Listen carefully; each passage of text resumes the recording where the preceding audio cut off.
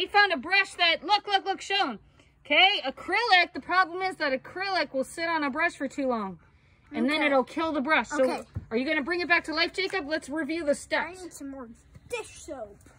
Okay, get your dish soap. Okay. Okay, put a little bit in your hand. Riley, we got our eye on you.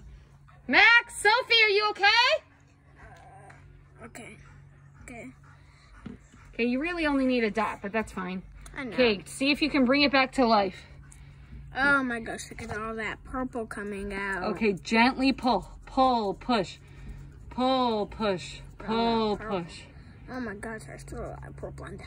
pull, push, gentle.